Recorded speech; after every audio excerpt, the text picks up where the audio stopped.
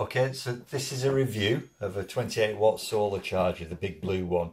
Uh, it's not for me to try and sell it to you. If you're looking at this review, it's because you've been caught short like I have in the past um, with your electronic appliances. Uh, you haven't been near a, a power source and pretty much you're knackered. Now, what I have uh, are power banks. Um, I'm sure you do as well, but they also need charging. they don't last forever. So I'm just going to quickly take you through this big blue solar charger and I'll show you how I use it um, and then it's entirely up to you. So at 50 odd pounds what you get with it are four carabiners there we go for hanging up.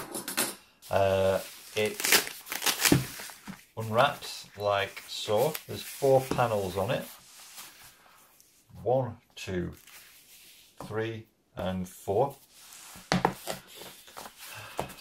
and in here is my power bank that I've been charging. Uh, not exactly the weather for showing you how well it charges at the moment because it's just been raining outside. But I'm going to take you through the process anyway. So this is the micro USB cable that you get with it. And I'll put my hand inside there.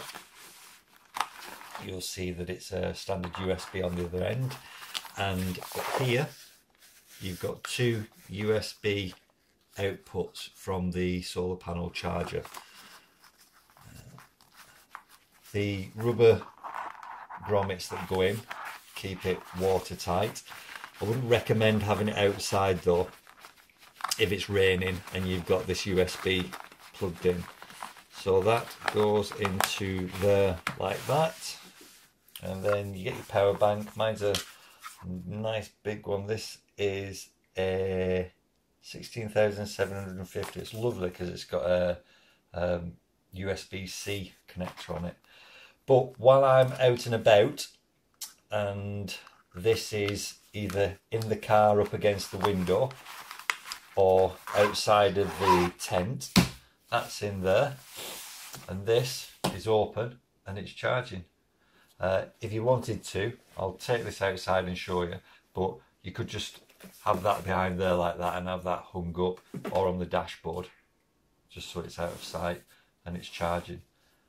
All this while you're not around, um, so when you get back, with the output that this is giving on a sunny day, it should be charged up. I'll just pause this and take it outside to show you. Right, so here we are, and it's a terrible day, as you can see, absolutely no sun whatsoever.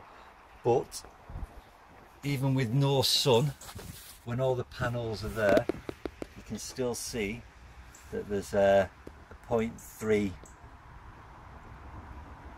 watt charge on that. And I say that's with no sun. So the power bank's in there. This would be on my dashboard or outside of the tent.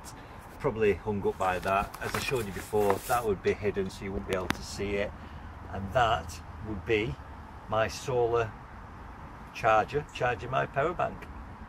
For this price, it's really, really good. These, these panels, they're not they're not cheap panels. They're uh, well constructed, and four of them means that the output's absolutely fantastic.